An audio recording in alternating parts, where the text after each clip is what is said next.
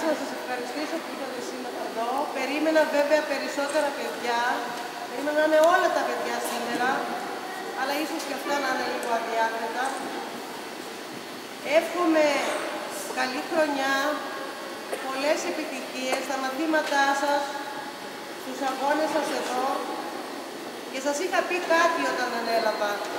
Σας είχα πει ότι είμαστε εδώ και θα φροντίσουμε να κρατήσουμε αυτόν τον σύλλογο. Ειλικρινά τον κρατάμε με νύχια και με δόντια. Από γραφειοκρατικής πλευράς τα έχουμε ταυτοποιημένα.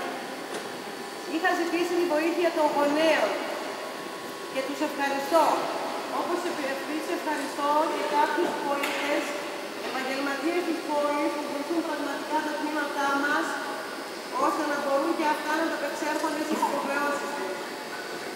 Δυστυχώς, οι επιχορηγήσεις έχουν κοπεί. Τα χρήματα τα οποία έρχονται στο Σύλλογο είναι πάρα πολύ λίγα. Λίγα. Μόλις 2.000 για κάποιες μετακινήσεις από το, την Ομοσπονδία του Χάτμπορ. Ευελπιστούμε φέτος και τη βοήθεια του Δήμου. Να είστε σίγουροι ότι θα πιέσουμε και τους υπολείπους παράγοντες. Έχουμε μια νέα κυβέρνηση, έχουμε νέους πολιτικούς.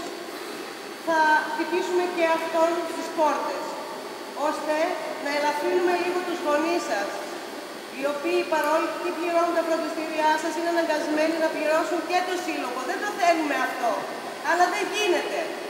Προς το παρόν πρέπει να είναι κοντά μας και σε αυτό το σημείο θέλω να δώσετε τους χαιρετισμούς μου, τις ευχαριστίες μου και καλές ε, νίκες, καλές νίκες και πολλές επιτυχίες. Ευχαριστούμε τον διοικητή, τον, τον uh, διοικητή ασφαλείας του τμήματος Νάουσα, τον κύριος Αρχιλίδη που είναι σήμερα εδώ κοντά μας.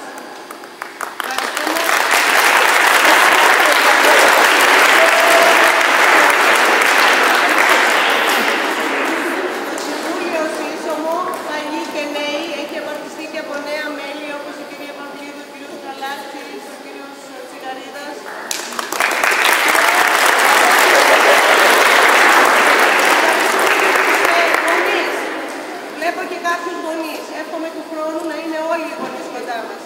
Και τώρα θα κόψουμε την πίτα μας.